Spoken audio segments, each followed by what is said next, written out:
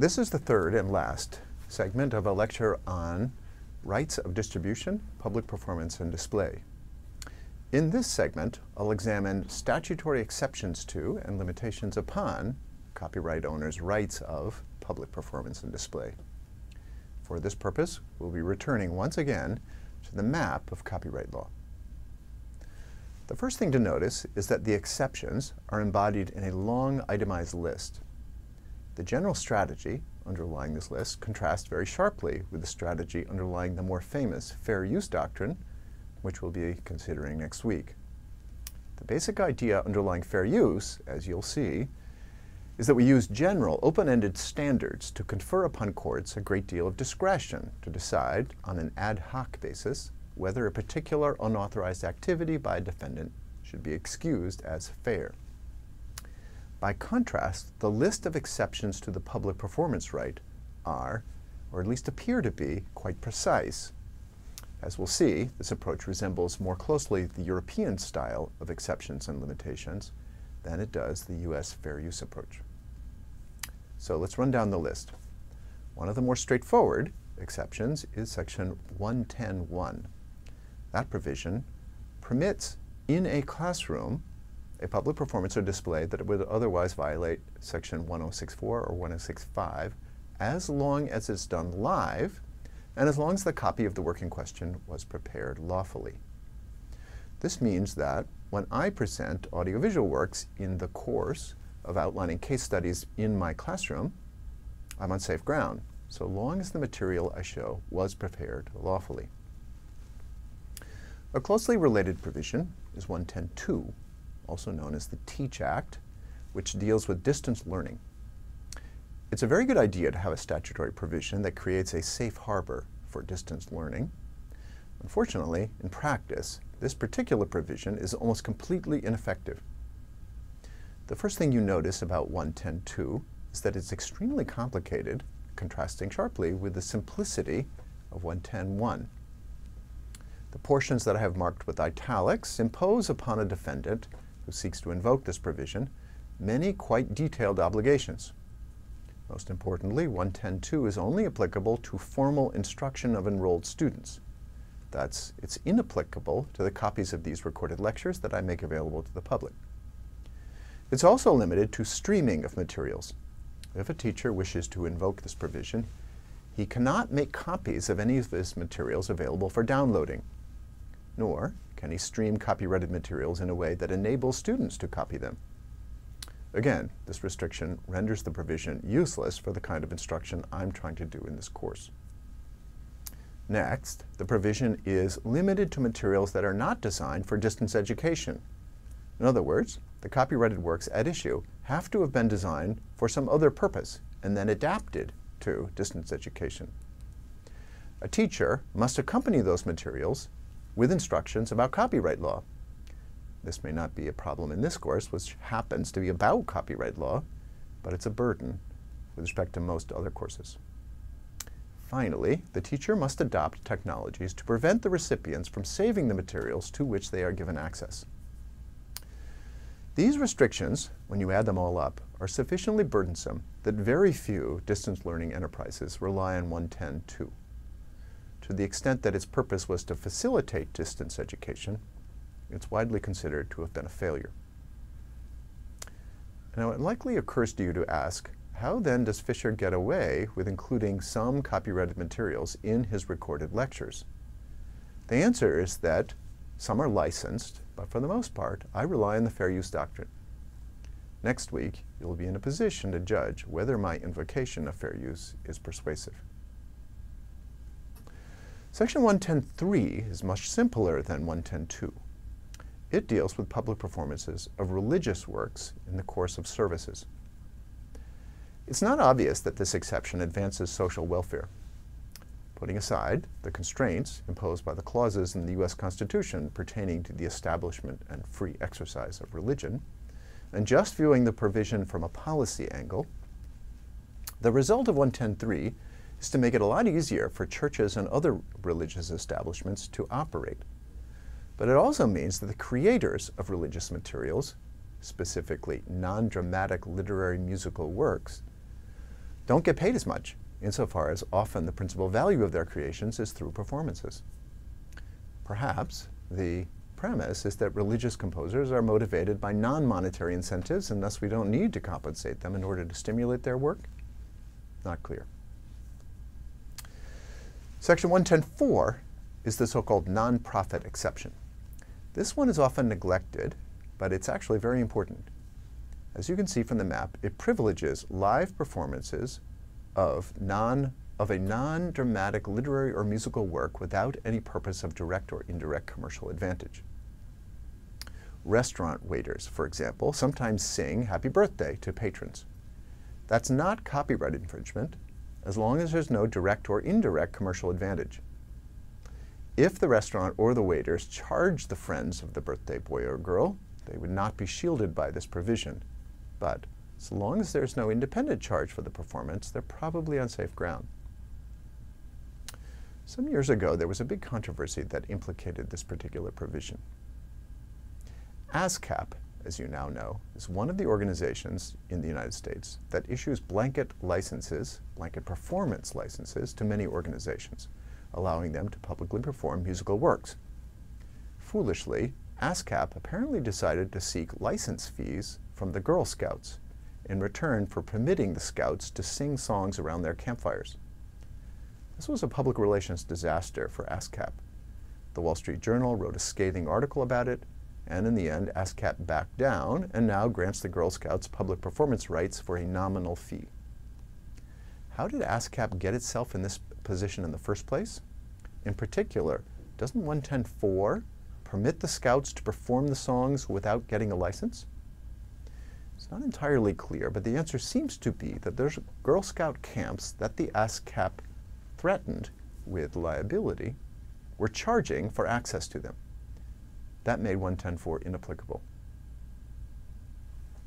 Now, we get to two related exceptions, the so-called home-style exception and the FMLA, which is an abbreviation for Fairness in Music Licensing Act. The home-style exception, embodied in section 110.5b, is, as its informal name suggests, a privilege for publicly performing copyrighted works using the kind of apparatus that you would ordinarily find in a home. It's a little vague, and it's changing as technology evolves, but the rough idea is that if the gizmo you use to perform a work is the kind of tuner plus speakers that you would ordinarily have in your living room, then it's okay. The standard is vague and not often litigated, but there it is. As I trust you see, this exception operates to shield some of the performances we were worried about in the previous segment of this lecture. Unfortunately, it's not broad enough to shield stores and restaurants who want to play music to entertain their customers, but need to deploy apparatuses bigger than you would find in an ordinary home. So, organizations representing restaurants and stores sought and obtained 110.5b, commonly known as the Fairness in Music Licensing Act. This one is extremely complex. You can read the details at your leisure. The operators of bars, restaurants, and retailers, when deciding how big an operation to set up and how to outfit it, pay a lot of attention to the details here. If they're able to stay under these statutory ceilings, they can escape altogether an obligation to pay copyright owners, particularly ASCAP, any licensing fees. An alarm bell should be going off now.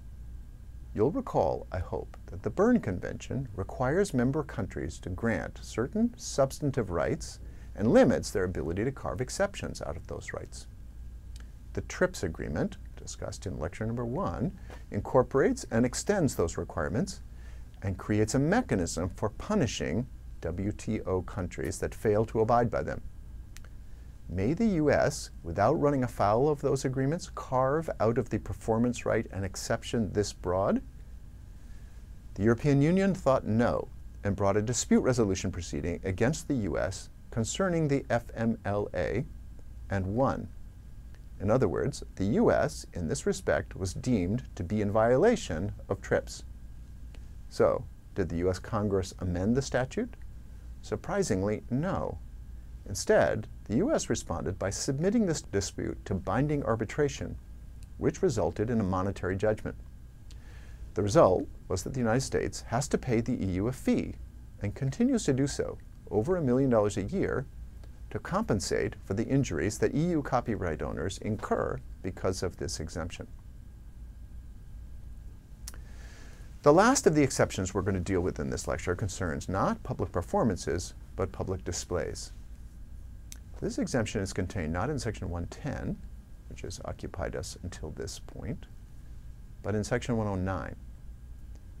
As we can see here, 109C provides, notwithstanding the provisions of Section 106.5, that's the public display right, the owner of a particular copy lawfully made under this title to display that work publicly is not violated if he shows it to viewers present at the place where the copy is located.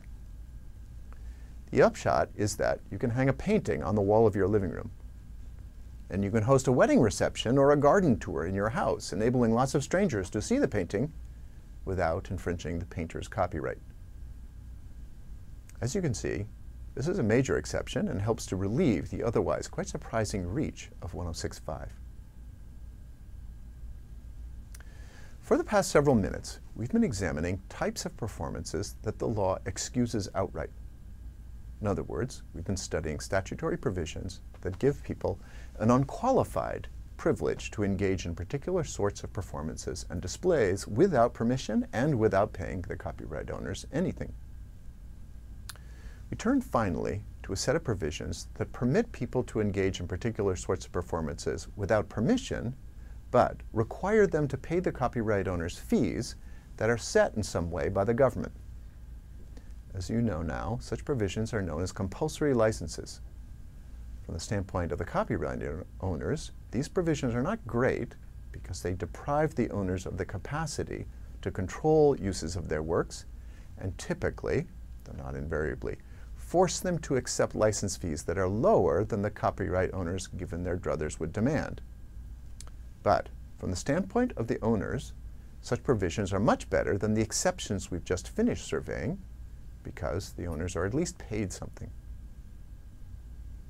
There are five main compulsory licenses listed on your chart. These provisions give qualified privileges to public broadcasting organizations, some types of webcasts engaged in digital audio transmissions, retransmissions by cable systems and satellites, and jukeboxes. The ways in which the compulsory fees are set are complex and vary considerably across these provisions. Businesses that depend on these compulsory licenses for revenue or freedom to operate, of course, pay a great deal of attention to the details of the regimes. But I will not do so here. Instead, I will concentrate during my remaining minutes on the general normative question posed by all such compulsory licenses. What might justify using this technique? The question is difficult and important because you can readily see reasons why governments should not use this technique. As I mentioned, it deprives owners of control. They must acquiesce in uses of their works that they might hate. You'll recall from lecture number two that scholars like Rob Merges sharply criticize compulsory licenses on this basis. In addition, the processes by which most of the compulsory rates are set and collected are expensive and cumbersome. The advocates of compulsory licenses bear the burden of establishing that, despite these drawbacks, compulsory licenses make sense. How might they do so? Defenders of compulsory licenses commonly make four arguments. I'll describe them, note the principal rebuttals to these arguments, and let you weigh the competing claims. The first argument is that compulsory licenses facilitate socially beneficial uses of copyrighted materials that otherwise would be frustrated by high transaction costs.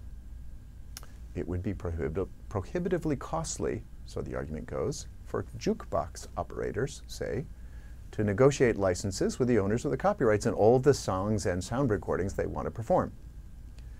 The result is that, were it not for compulsory licenses, we would have no jukeboxes. The retort is that transaction costs are not as high as this story suggests, and information technology is causing them to decline. So, it is said, compulsory licenses are outmoded. The second argument is that inequality in the bargaining power of the copyright owners, on one hand, and these particular types of users, on the other, would enable the owners in an uncontrolled market to extract excessive license fees from the users.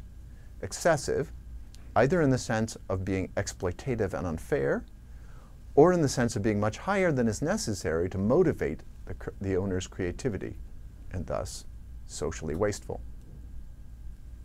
Skeptics suggest that the beneficiaries of most of these compulsory licensees are far from being powerless. The third argument is that the ratio of socially beneficial incentives to corresponding social losses is higher with respect to compulsory licenses than with respect to freely negotiated licenses. We touched on this argument briefly in lecture number four. Here's a brief review. Copyright law, seen through the eyes of an economist, is a device that shields an innovator from competition in sales of copies of his creation. At least if there are no close substitutes for his innovation, this shield enables the innovator to set the price for access to those copies well above the marginal cost of producing them. The resultant monopoly profits, represented by the blue zone in this now familiar simplified graph, provide an incentive for innovators to produce their creations in the first instance. An unfortunate side effect of this strategy is that some potential consumers are priced out of the market for copies of the creation giving rise to a welfare loss represented by the red zone. That's regrettable, but we accept this social cost in order to offer creators sufficiently large carrots to induce them to make things we need or enjoy. If administered sensibly, compulsory licenses, it is argued, enable us to improve on this system. Compulsory licenses force copyright owners to accept fees lower than they would otherwise demand. That, of course, reduces their profits, but the loss is partially offset by an increase in output. The result is that the blue zone in this picture is smaller than the blue zone in the preceding picture, but not by an enormous amount. Conversely, as you can readily see when the images are juxtaposed, the imposition of a compulsory license sharply reduces the concomitant deadweight loss. The ratio between incentives and losses associated with uncontrolled licensing markets, on the left, is lower than the ratio between incentives and losses associated with controlled markets, on the right. Opponents contend that the administrative costs associated with the system on the right will exceed the cost savings it enables. The last of the four arguments is the simplest. Compulsory licenses are sometimes necessary, it is said, to enable socially beneficial activities to flourish. This is a hard argument to make with respect to cable retransmissions, but perhaps easier with respect to public broadcasting systems. The argument can be expressed in the language of economics. Public broadcasting has strong positive externalities that the stations are unable to capture, so we need to reduce its costs if it is to survive. Or the same argument can be expressed in more moral terms. Public broadcasting helps educate the citizenry, generating a more informed, responsible, and tolerant electorate. For that reason, we should and do place a thumb on its side of the scale. You decide who's right. Next week, we'll take up fair use.